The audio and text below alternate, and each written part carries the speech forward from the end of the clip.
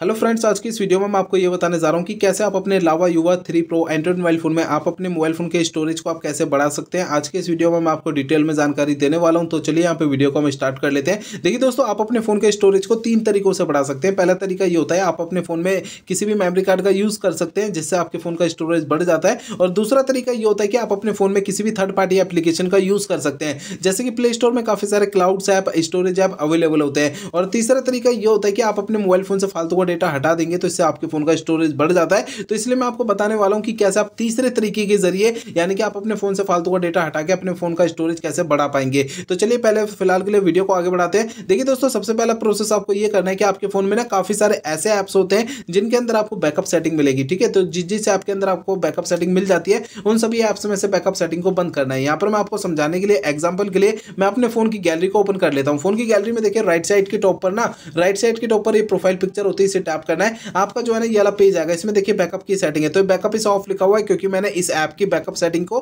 पहले से बंद कर रखा है। अगर आपकी बैकअप सेटिंग यहाँ पे चालू रहती है तो इसे आपको नीचे की साइड ना ऑफ़ का बटन होगा ऑफ़ पे टैप करके आपको इस बैकअप सेटिंग को बंद कर देना है। तो इसी तरीके से आपको और भी जिस जिस ऐप के अंदर बैकअप सेटिंग मिलती है, सभी में से आपको बैकअप सेटिंग को बंद करना है। अब देखिए, ये तो होगी आपके ऐप्स की बैकअप सेटिंग की बात। अब आपको है ना अपने मोबाइल फ़ोन की बैकअप सेटिंग बंद करनी है। इसके लिए आपको फ़ोन का सेटिंग पेज ओपन करना है। सेटिंग पेज में आपको नीचे सिस्टम पे टैप करना है। इसके अंदर आपको बैकअप सेटिंग मिलती है। तो बैकअप के नीचे देखिए ऑफ़ लिखा हुआ है क्योंकि मैंने अपने फ़ोन की बैकअप सेटिंग पहले से बंद कर रखी है। आपको जो है ये भी बैकअप सेटिंग बंद कर देनी है, ठीक है? देखिए दोस्तों, यहाँ पर मैं ऐप्स की और मोबाइल फ़ोन की बैकअप सेटिंग इसलिए बंद करवा रहा हूँ, क्योंकि अगर ये सेटिंग जो है चालू रहती है तो इससे आपके फ़ोन का जो इंटरनल स्टोरेज होता है, वो जल्दी जल्दी फुल हो जाता है, जिसके कारण आपका जो है ना, ये फ़ोन का स्टोरेज जो है वो बढ़ जाएगा, ठीक है ना? अगर आप ये बैकअप सेटिंग बंद कर देंगे तो। अब दोस्तों, यहाँ पर आपको अगला प्रोसेस करना क्या है कि आपके फ़ोन में जितने भी ऐप्स है, सभी ऐप्स को रीसेट करना है, यानी कि सभी ऐप्स का डेटा क्लियर करना है। कैसे? देखिए, आप अपने फ़ोन की किसी भी ऐप को उंगली से आप के रखेंगे तो आपका एक छोटा सा पेज ओपन होगा इस तरीके का। इसमें आपको ऐप्स ऐप इन्फो पे टैप करना है या फिर सर्कल के अंदर जो आई बटन है, इसे टैप करना है।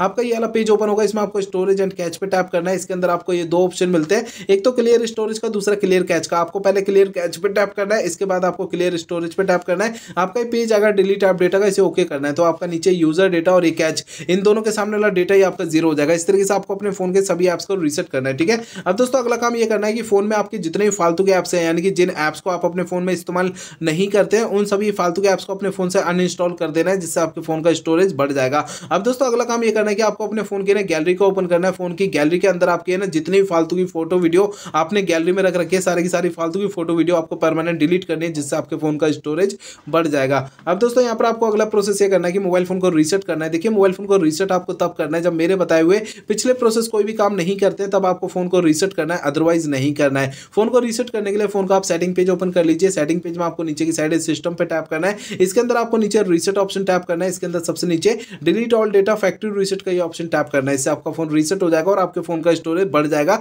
लेकिन आपको फ़ोन को रीसेट करने से पहले दो बातों का ध्यान रखना है। पहली बात ये ध्यान रखनी है, आपके फ़ोन में जितना भी डेटा सारा डेटा आप किसी दूसरे फ़ोन में ट्रांसफ़र कर लीजिए या उसका बैकअप ले लीजिए। दूसरी बात ये ध्यान रखनी है, आपके फ़ोन की जीमेल आईडी और उसका पासवर्ड आपको पहले से नोट करके रखना है। ये दो काम आपको पहले करना है, उसके बाद आपको फ़ोन को रीसेट करना है, ठीक है ना? तो दोस्तों, इस वीडियो में मेरे बताए हुए सारे प्रोसेस आपको यूज़ करना है, इससे आपके फ़ोन का स्टोरेज बढ़ जाता है, ठीक है?